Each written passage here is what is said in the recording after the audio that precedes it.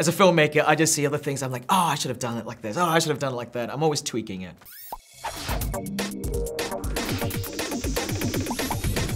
Aquaman. Yes. It's been a big journey. Uh, uh, yes.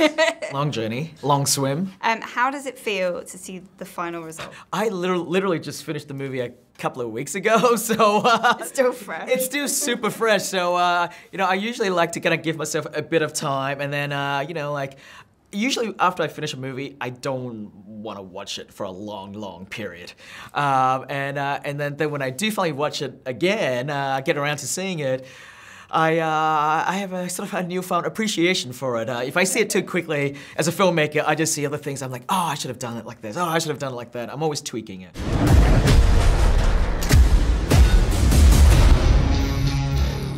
Permission to come aboard horror is a big thing for you. So how was it going? I know obviously you did Fast and Furious, but how was it going into such a big um, film with such a big reputation? It wasn't difficult from a technical stand, from a transitional standpoint. Um, I love movies. I love all kinds of movies, and to me, this is just you know, it's no different to making a horror film.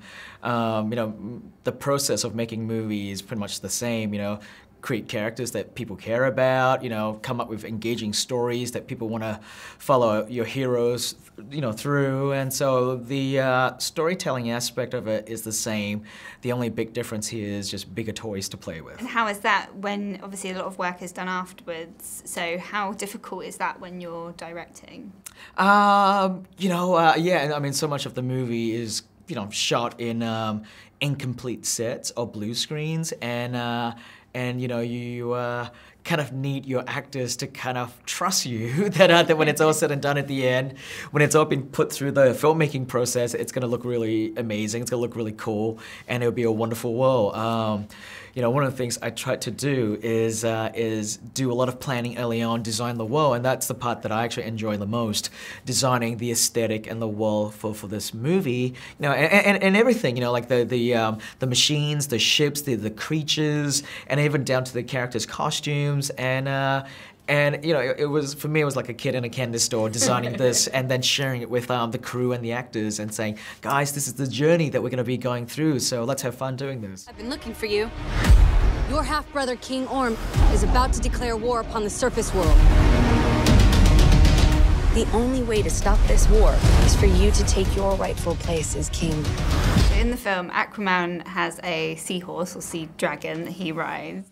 king Orm has the, um, it's the Tylosaurus? King Orm has a Tylosaur, yes. If you could ride an animal of your choice, what would it be? Uh, if from the movie, I think actually the Tylosaur would be incredible.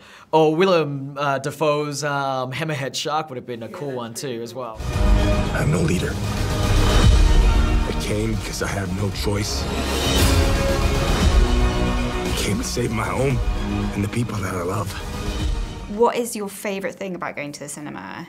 Well, I love going to the movies for the communal experience, you know, especially um, coming from, uh, you know, from my sort of horror movie background. I actually find like my movie plays best, you know, with lots of people in there, in a dark room watching it, you know, uh, if something scary comes along, they scream, and then if there's something that really suspenseful or, or, tense, you can kind of feel them sort of shifting in their seats, and, uh, and if something's funny, you hear them laugh.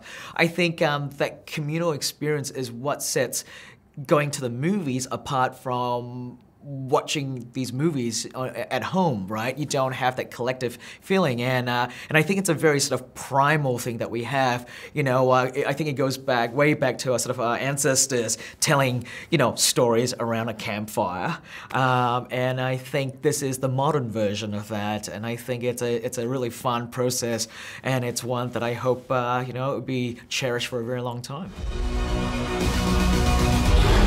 The war is coming to the surface and I'm bringing the wrath of the seven seas with me.